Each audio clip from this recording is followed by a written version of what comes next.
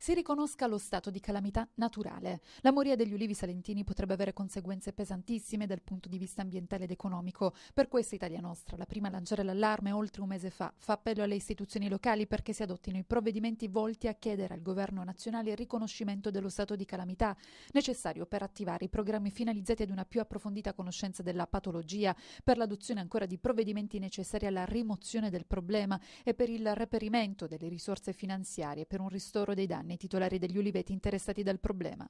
L'individuazione della causa del rinsecchirsi degli ulivi d'altronde lascia spazio a pochi dubbi. Il batterio riscontrato, Xylella fastidiosa, è infettivo, inserito nella lista nera europea di quelli da quarantena, ma è presente finora in Europa.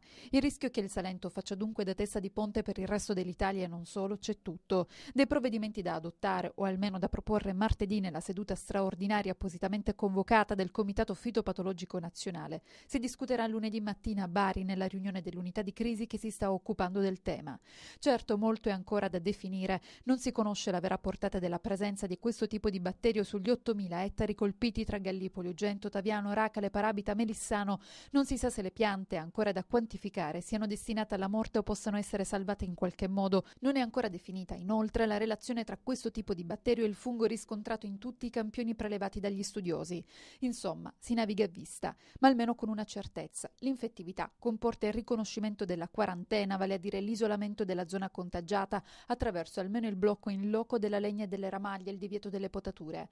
Nessun problema, per fortuna, almeno per quest'anno, per le olive e la produzione di olio. Se per la prossima annata, invece, il batterio avrà fatto incetta di alberi e raccolto, è ancora incerto. Si spera infatti che l'arrivo delle gelate invernali possa bloccare le cicaline che fanno da vettore nel propagare il contagio. Su eventuali rimedi fitosanitari, invece, c'è l'appello degli esperti a bloccarsi, inutili, dispendiosi e dannosi. Anzi, l'insistenza di alcuni rappresentanti di aziende di pesticidi fa venire a galla il rischio speculazione. Certo c'è l'emergenza in primis da affrontare, ma poi c'è una riflessione da fare. Non pare sia possibile che Xylella fastidiosa sia comparsa nel Salento a causa di un traffico internazionale di ulivi che non c'è stato. Al contrario, non si sa come e quando l'insetto vettore sia arrivato qui.